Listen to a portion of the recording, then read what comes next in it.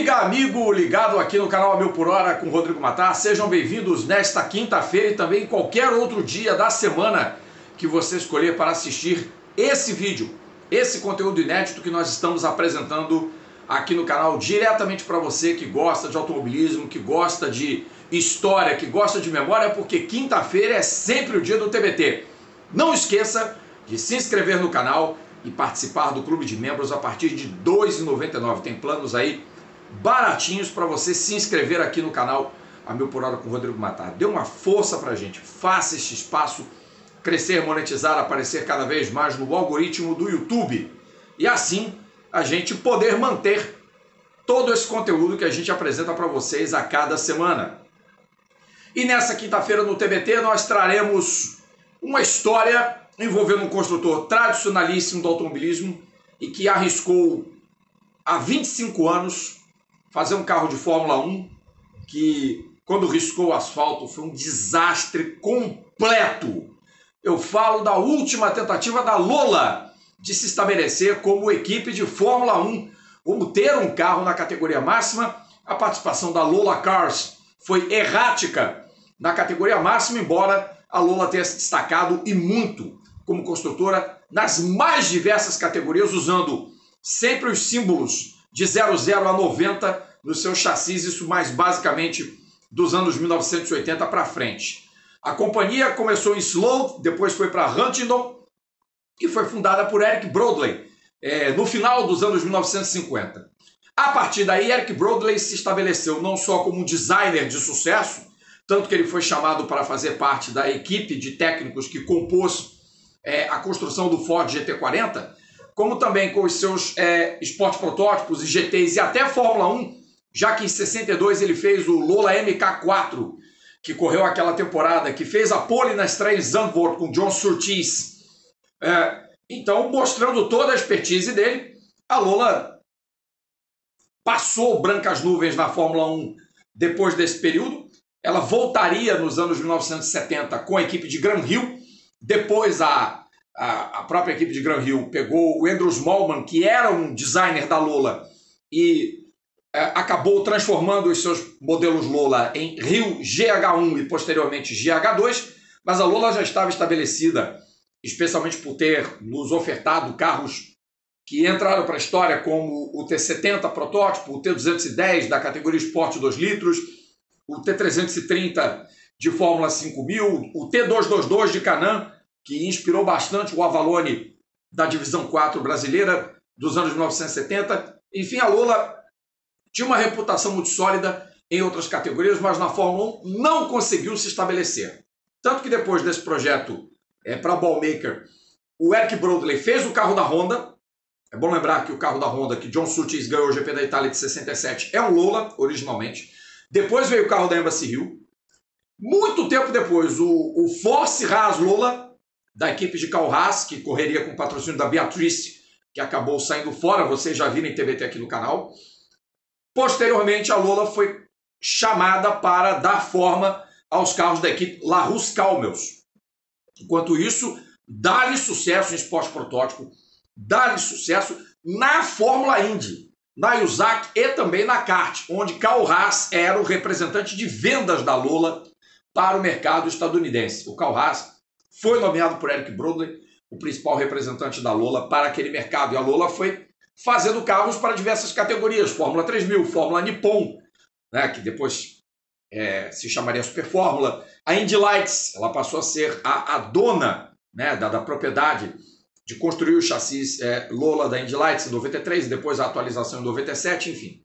E aí, na Fórmula 1, a companhia fracassou com o carro da Scuderia Itália e para 1995 com pretenso apoio da Texaco Avolini, foi desenhado um modelo sem periscópio, sem aquele artefato que cobria a tampa do motor é, dos carros de Fórmula 1, que era comum dentro do regulamento vigente na época. Os carros apresentaram uma cobertura de motor em que a entrada de ar era por sobre o Santo Antônio, sobre a barra anticapotagem. E esse carro foi testado por Alan McNish e se revelou imediatamente obsoleto, um carro fracassado, e não deu muito certo. Então, dois anos depois dessa ideia, ou praticamente dois anos depois dessa ideia, a Lola resolveu tentar de novo. E aí, esse projeto de Eric Broadley e Chris Saunders ficou pronto para a temporada de 97. Primeiramente seria para o campeonato de 98, mas a Lola antecipou a estreia do seu carro para 1997.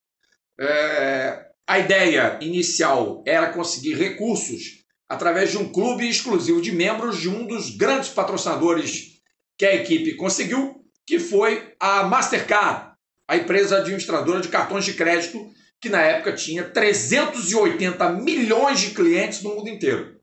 Então a ideia mirabolante da Lola é, era conseguir fundos através de um clube exclusivo de é, participantes que fossem linkados a esse sistema Mastercard, e daí viria o financiamento do projeto para o desenvolvimento do T9730, que foi apresentado à imprensa em fevereiro, no começo de fevereiro daquele ano, de 97. Inclusive, eu estava trabalhando como estagiário no Jornal do Brasil e um dos nossos é, repórteres da época, acho que o Vicente Dátoli, se não me engano, é, foi convidado para o lançamento do carro. Então, numa época que o JB ainda tinha um prestígio, o Datolinho foi para a Inglaterra e participou, estava lá cobrindo o lançamento do Lola T97-30, se não me engano, foi no Hotel Hilton, em 2 de fevereiro daquele ano. E a temporada começava de ali a um mês e pouco, no máximo. Né? O carro foi lançado com pompa, com circunstância, e os pilotos apresentados, o italiano Vincenzo Sospiri, que vinha das categorias de base, e o Ricardo Rossetti, um brasileiro que estava na Arrows na temporada anterior foi prejudicado pela falta de testes de investimento na equipe, que já tinha sido absorvida por Tom Walkinshaw. Tinha dado apenas 30 voltas de pré-temporada, comparado com a grande maioria dos pilotos. Fez um oitavo lugar na estreia e só. Foi muito pouco que fez o Ricardo, que tinha vindo de boas campanhas na Fórmula 3 inglesa e na Fórmula 3000 internacional. Então, tanto o Sospiri quanto o Ricardo seriam jogados às feras para o campeonato de 97 sem ter tido um único teste prévio antes da abertura do campeonato em Melbourne, na Austrália. Era a segunda vez que a corrida de Fórmula 1 na Austrália se desenvolvia no Albert Park, depois da mudança é, de local do evento que tinha sido disputado até 95, de 85 a 95, em Adelaide. E de saída, o Lola T9730 revelou seríssimos problemas. Um carro que não passou por túnel de vento, um carro que tinha muito arrasto e zero downforce. Além de tudo, sofria problemas gravíssimos de câmbio. E o Ricardo Rossetti, numa entrevista antiga, é, quando ele contou de todas as agruras que ele viveu como piloto de Fórmula 1, e por conta dessas agruras ele ficou queimado dentro do automobilismo mundial, ele é considerado pela por grande parte da mídia especializada como um dos piores pilotos que já passou pela Fórmula 1 o que não é verdade, é, contabilizando tudo o que ele viveu, todas as histórias que ele viveu, todas as sabotagens de que foi vítima, não estou aqui querendo passar pano é, para o piloto brasileiro. A gente também não pode ficar passando pano para piloto brasileiro nenhum. E olha que eu já falei que teve piloto que decepcionou muito mais do que o Ricardo Rossetti. E não vou citar nomes aqui nessa nesse TBT. Eu acho que nem preciso. Mas com relação ao Ricardo, ele contou nessa entrevista que o carro simplesmente não mudava de marcha direito. Eles tinham vários problemas de câmbio. Além de tudo, a transmissão Lola sequencial de seis marchas ela era um gatilho horroroso dentro do carro. E aí, era um carro simplesmente inguiável, lento, e por consequência disso, o Sospiri tomou 11 segundos e 6 décimos e o Rossetti 12.7.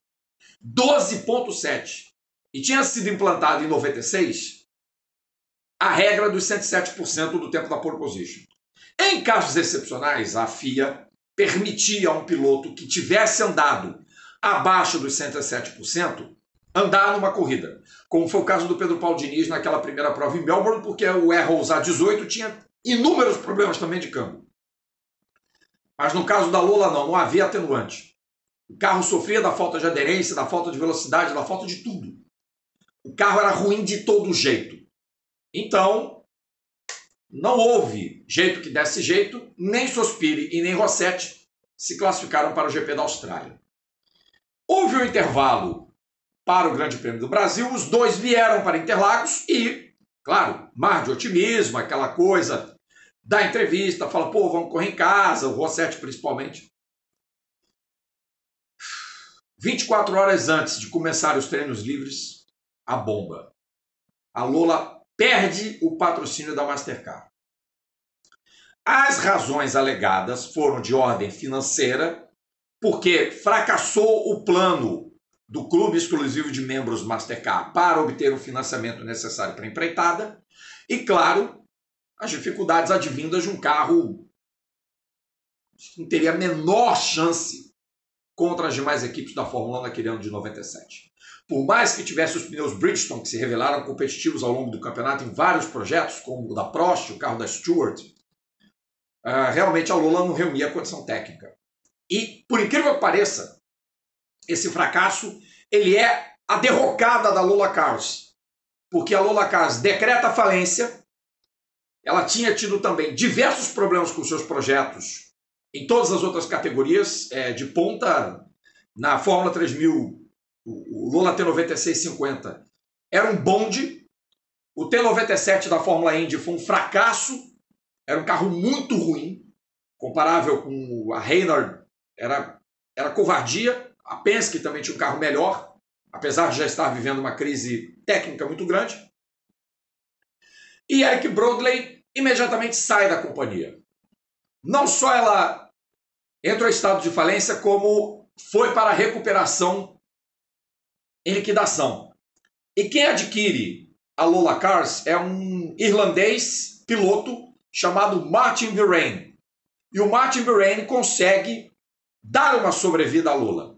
A Lula se recupera no mercado de construção de carros de corrida, mas esquece completamente a Fórmula 1. Ela vai se recuperar na Indy, onde Keith Wiggins pega a presidência da Lola Cars para o mercado dos Estados Unidos. A Lola faz carros para um GP, faz carros para diversas categorias, volta ao mercado de esporte protótipos, mas a companhia aos poucos ela vai se revelando insolvente e em 2012 ela é absorvida pela Multimatic com a Haas, de Carl Haas. Antes que esse morresse, um dos últimos atos do Carl Haas foi comprar e dar para a Multimatic também, em parceria, Multimatic e Haas, trabalharem é, como os donos da marca Lola. Eles exploraram os ativos e a propriedade intelectual até que em 2016, quando acabou o regulamento de protótipos para a IMSA, o regulamento Prototype, que mesclava os chassis P2 com os modelos é, DP, Daytona Prototypes, herdados da Grand Dam, e foram sucedidos pelos DP em 2017. Aí não teve mais jeito e a Lola já deixava de existir. Na verdade, ela deixou de existir oficialmente em 2012 mas os carros foram definitivamente tirados de circulação na temporada de 2016. Quis o destino que a Lola tivesse na Fórmula 1 uma trajetória muito errática de projetos, alguns deles grandes fracassos, incluindo os três últimos, basicamente.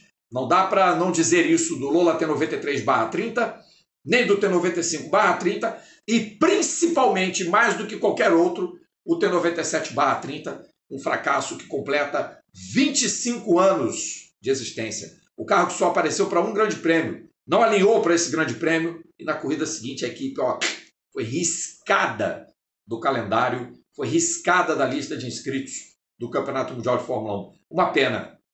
Inclusive Eric Broadley e Martin Birrain não estão jamais entre nós. Broadley já falecido há bastante tempo e o Martin Birrain morreu em 2018. É isso a história do fracasso do Lola T9730, que completou 25 anos da sua única aparição no Grande Prêmio da Austrália, contada, entre outras curiosidades aqui da marca tradicional britânica, no TBT do A Mil por Hora com Rodrigo Matar. Siga acompanhando o conteúdo do canal, as nossas lives, os nossos, as nossas opiniões, os nossos programetes. Vai voltar a memória motor, vamos voltar com minis com história. Deixa a gente se organizar e fazer tudo certinho aqui no canal. Colabore, faça a gente crescer e acredite nesse espaço que é feito para você que acompanha, que é apaixonado por velocidade. Quinta-feira que vem a gente volta com mais TBT aqui no A Mil por Hora com o Rodrigo Matar. Grande abraço e até a próxima. Tchau, tchau.